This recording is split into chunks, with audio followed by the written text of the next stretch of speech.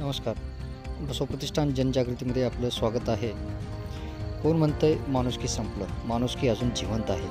बातमी आहे पुण्यातून. फुरसुंगी एक छोटंसं गाव. पावर हाऊस नजीक. स्लम भाग म्हणजे चाळीत गोरगरीब लोकांचा रहिवास हातावरील पोट. पण सध्या कोरोनाच्या लॉकडाऊनमुळे चालू असलेली उपासमारी घडणारे हृदयद्राव घटना. डॉक्टर बाळासाहेब हरपळे यांच्या निदर्शनास आली.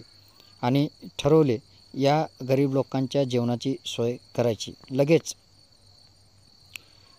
महाराष्ट्र कौन्सिल ऑफ इंडियन मेडिसिनचे सदस्य डॉक्टर बाळासाहेब हरपळे व राष्ट्रीय महिला व बालविकास कल्याण सल्लागार समिती सदस्य डॉक्टर उज्ज्वलाताई हरपळे जे सामाजिक वसा लाभलेले आहेत त्यांनी फोनवर कामाला लागले पोलीस परवाना काढले.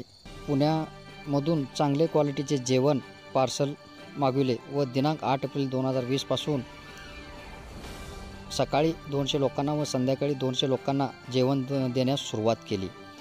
लॉकडाऊन जोपर्यंत आहे व पोलीस परवाना जोपर्यंत राहणार आहे तोपर्यंत जेवण देण्याचा निश्चय त्यांनी केला.